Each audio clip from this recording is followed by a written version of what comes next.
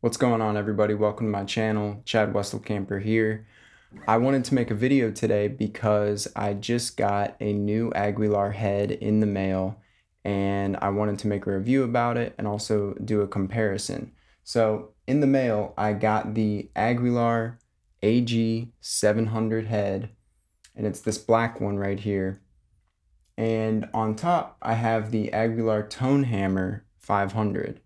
I've been using the Tone Hammer for about a year, maybe a little bit over a year, and I absolutely love it. I switched from Markbass combo amp, I had a GK combo before that, but I am so happy with my decision about Aguilar because I just love the tone I get out of it for electric bass as well as upright bass. And the upright bass portion was a big factor when I was picking out a new amp. There are so many great ones on there, but I've just seen so many good products uh, coming from Aguilar, especially on upright as well as electric. So today I wanted to firstly compare the Aguilar Tone Hammer 500 watt to the AG700. And then when I get into the AG700, I'll do a little bit more of a review on it and talk about the features that it has. So right now I just want you to hear a little bit of what the Tone Hammer sounds like. This gray one right here. See what it sounds like. Check it out. I'm going to kind of keep the variables limited. I'm going to have everything flat on the head and I'm going to have everything flat on my bass as well so that we can really get the clear comparison. When I go into the actual features of the AG700, then I'll start messing with the knobs and whatnot. So I've got my Kiesel LB76 right now with some Ernie Ball strings on it, which by the way, I love those. And no, none of this is sponsored by Aguilar or Ernie Ball. I wish it was. I'm just making this because I enjoy the process of recording and seeing the difference for myself. This is what it kind of sounds like by itself, the Tone Hammer 500.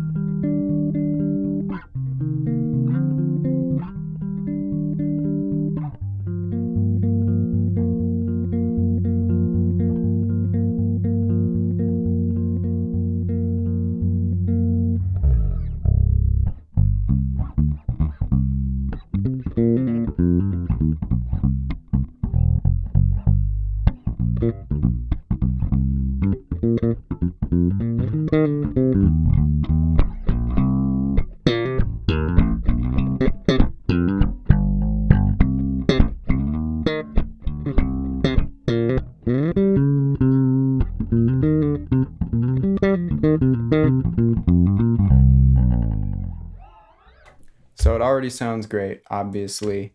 Uh, I love the features on it as well. I love that there's also a drive feature on the Tone Hammer 500. That's something that the AG700 doesn't have. I'm not using the drive all the time, but I have noticed recently that when I put it on, if I want to, I notice it and adds a little bit of growl, adds a little bit of presence, and I really appreciate that.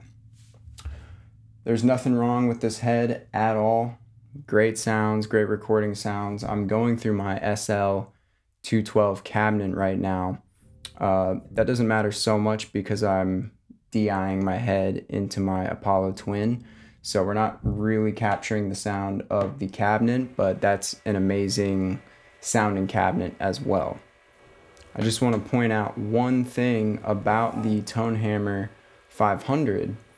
We've got gain, we've got mid-level, we've got bass, we've got treble, and we've also got a uh, mid-level sweep knob. And then over here, we have a drive knob, and that's what I'm talking about. I'll actually just turn that on for a second and just get a taste of the drive. I'm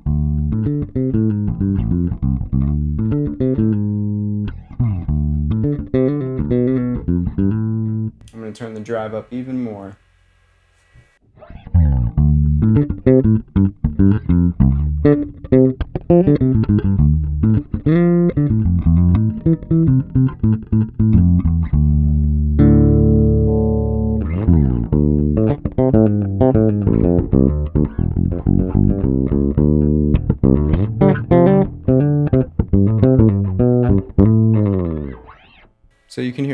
I changed my back pickup just to uh, accentuate the drive even more as the drive really affects mid-range frequencies rather than other ones. So now that you've heard the Tone Hammer 500, I'm going to shift on over to the AG700 and we'll get into that comparison. All right, now we're on to the AG700. Again, this is the head I got in the mail today and I'm so excited about it the reason that I got it, that I want to state, is because I noticed on gigs very recently, especially if they're louder gigs or playing outside or on big stages, if I pushed my bass, which is pretty powerful um, with the active pickups, I noticed that I was getting the clip signal a lot on the head. And I don't feel like I should be getting that because it's got so much power already. But with the nature of my bass, the specific pickups it has from Kiesel, uh, they're just really hot in general, and I wanted to get some more headroom. So I thought, eh, you know, I'll try out the AG700. Can't really go wrong with it necessarily. And I did play it a little bit already. I'm really liking it. So now I want to get into what that sounds like. So I'm just going to play a little bit different stuff talk about some of the tones, change it up, and we'll go from there. This is the AG 700 Aguilar head. Everything's flat right now.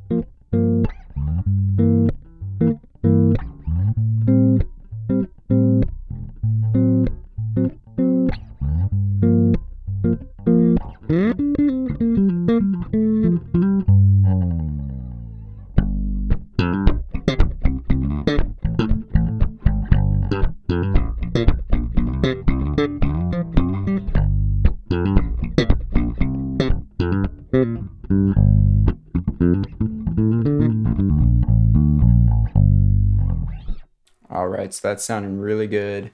What I notice right off the bat is there's a little bit less high frequency from the AG700, even with it being flat and nothing's changed on my bass. I'm just noticing a little bit less high frequency in there, but that's totally fine with me. If I need to add any more, I can do that. And uh, I don't always like to hear a ton of high frequencies in my bass sound, depending on what I'm playing, of course.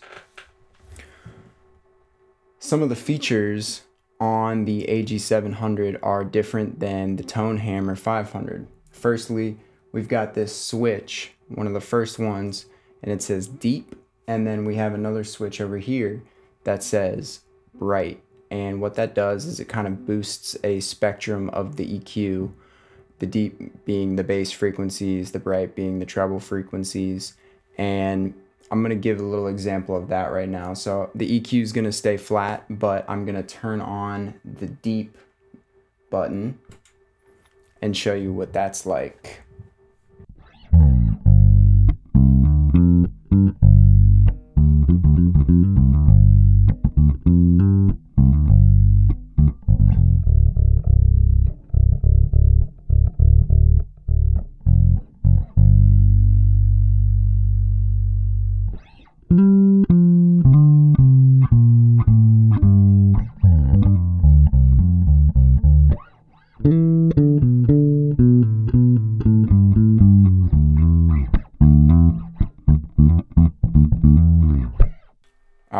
Can already feel it, especially in the room. Bass frequencies are for sure boosted. I really like that effect. And I'm probably going to be using that all the time. Now I'm going to switch off the deep and I'm going to turn on the bright. The bright switch is now on on the AG700.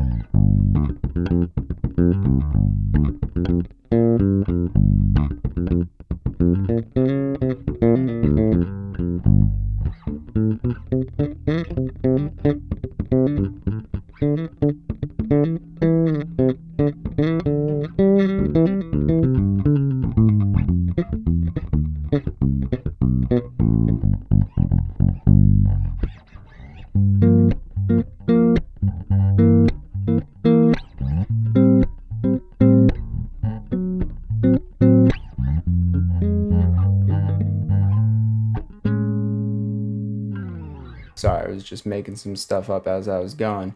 But I can definitely hear the change in tone when turning on the bright switch. And uh, I'm thinking that you guys will too via the recording. Very nice.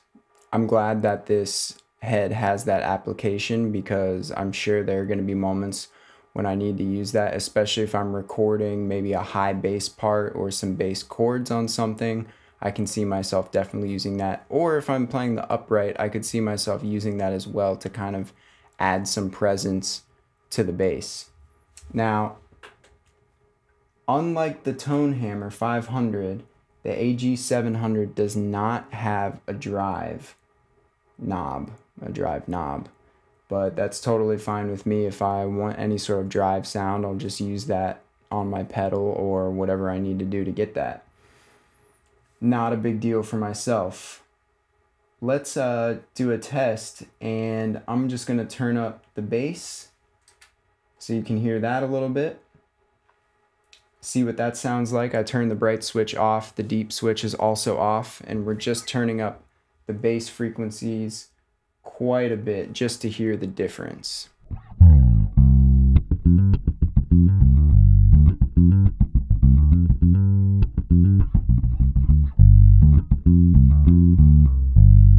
That's awesome. The whole room is vibrating. Sounds amazing. I'm going to keep that right there and I'm going to turn the treble up quite a bit. Now we're going to have bass and treble more up.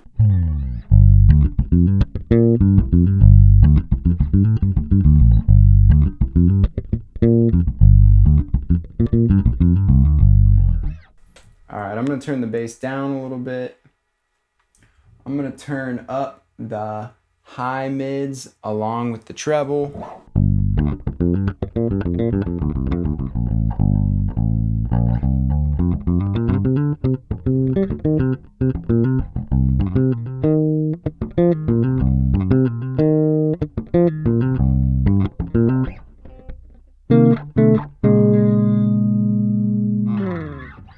That's nice. I'm going to take the treble back to flat I'm gonna make sure that the bass is flat. And now I'm gonna turn up the low mids along with the high mids. We'll just see what that sounds like together.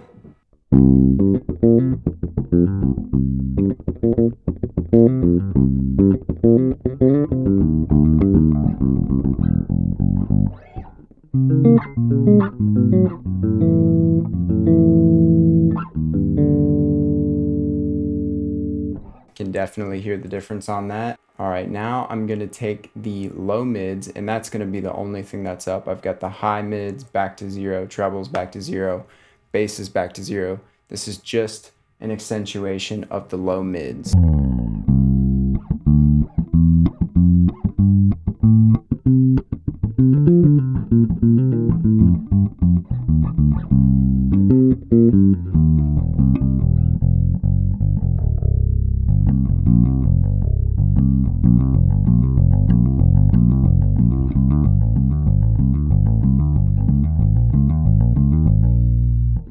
I can definitely hear that as well. I'm not a huge fan of the ultra MIDI, mid MIDI sound, but uh, I do think if you add it in in the right way, you can get some really cool tones.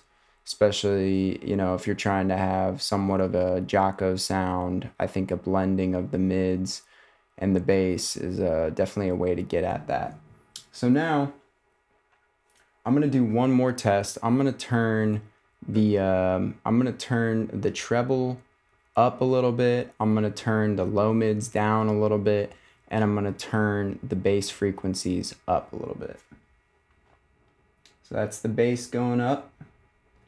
That's the low mids going down a little bit. And that's the treble going up. Nothing too crazy. I'm going to keep the high mids where they are. Let's see what that sounds. Like